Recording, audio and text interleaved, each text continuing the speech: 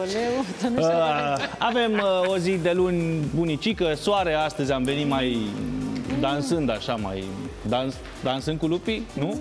Nu prea, Da. nu prea, pentru că, într-adevăr, bună dimineața Bună din nou dimineața! tuturor. În direct de la Sulaina. Direct de la Sulina vin cu temperaturi într-adevăr foarte crescute, poate ușor peste normele perioadei, dar în continuare vremea se anunță rece, mai ales dimineața și seara și mai ales vom avea înnorări. Începem prin sudul teritoriului cu înnorările pe, pe parcursul acestei zile, dar vor fi precipitații prin Oltenia și Muntenia slabe trecătoare. Mai cu seamă după amiază și seara se vor aduna și mai mulți nori prin nord, prin vest, prin centru și prin zonele montane, unde vom avea parte de precipitații însemnate, poate chiar și fenomene electrice și căderi de grindine și intensificări ale vântului în aceste zone. Și pentru ziua de mâine, de asemenea, meteorologii ne aduc înnorări în mare parte din țară. Vor fi și momente, într-adevăr, când ne vom bucura de razele soarelui și rămânem, iată, la temperaturi foarte frumoase, maxime de până la 28-29 de grade, mai ales prin nordul și nord-vestul teritoriului, dar și în celelalte regiuni uh, vom avea temperaturi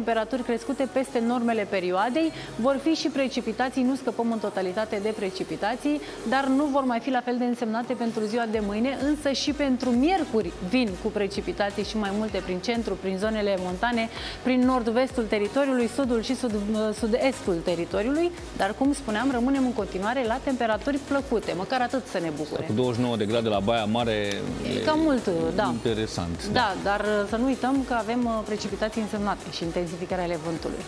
Direct din Sulaina Channel, uh, Ramona a prezentat uh, starea vremii.